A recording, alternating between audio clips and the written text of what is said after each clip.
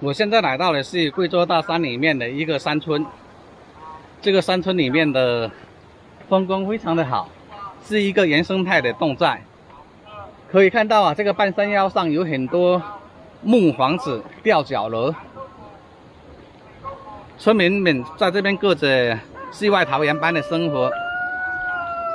当然呢，这个村寨最厉害的就是村中的村民啊，个个都会。武功身怀绝技啊，他们很厉害的，所以说这个村庄又叫功夫村。目前呢，没有多少人知道这有这样的一个村庄的存在。嗯，等一下呢，我们去找找看一看，看能不能找到这边的村民，让他们给我们表演一下他们的武功，看看他们的绝技吧。不过呢，我得小声跟他们说话，哼，因为打也打不赢他们。这个寨子的年轻人呢，都出去打工了，留在寨子里面都是一些老人。